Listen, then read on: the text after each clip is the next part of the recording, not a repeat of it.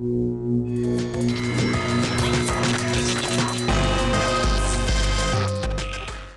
Violet Blue, best-selling sex author, columnist, and author of the new book Total Flirt: Tips, Tricks, and Techniques Every Girl Needs to Know to Get the Guy. Total Flirt is so much more than a book about flirting. It's based on years of research, based on studies, the science of kinesics, which is the study of body language, and infiltration of so-called secret societies of pickup artists. Know how some girls seem to have secret tricks to get guys? And guys use things like the game to pick up girls? Well, this is Girl Game. Think it sounds naughty? Well, two can play that game. And it's a game I think everyone should win. Total Flirt tells you exactly how to do that. Flirting makes us feel sexy and attractive, and it gives us confidence even when we feel dorky. It can ease the pain of heartbreak or bolster our ego when we're feeling down. It can be about sex or not about sex at all. Flirting can pave the way for us to meet new people, have new friendships, have one night stands, find the one, or just make an evening a lot more interesting than it was before. Total Flirt covers this and more. In the first chapter, learn about how there are actually two distinctive ways to flirt and what they mean. Take a style quiz to see just what kind of flirt you are and what kind you could be.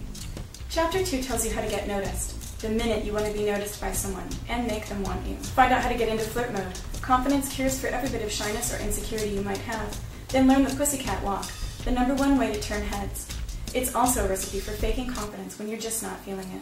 Chapter 3 tells you how to flirt and seduce your hot flirt target completely without words. Perfect for the shy, or sneaky, or when you're in loud places.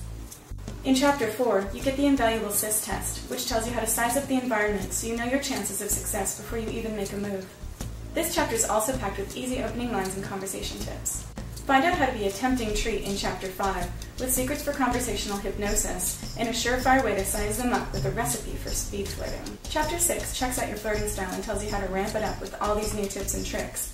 Chapter 7 is just for the girl on the prowl. Know how to tell if he's just a friend or if he's interested in you. Avoid a flirting disaster with all the helpful advice in Chapter 8, where you find out what to do to get rid of competition, dealing with flirting gone bad, such as when he's actually taken, what to do when you realize you made a mistake and need an exit, and fixes for flirt failures of all kinds. Chapter 9 is the one full of dirty tricks. This is where you find out what so-called pickup artists do to get girls to get them into bed, and what to do when these tricks are being played on you. Better yet, I explain exactly how to use these dirty tricks for your own fun and games, and how to make a girls' night out party with their techniques.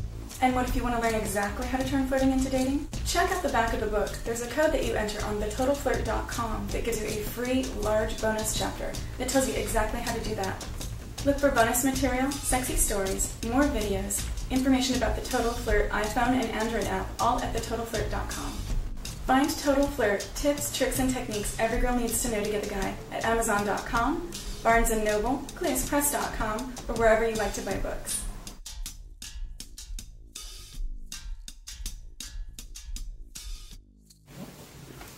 Hey!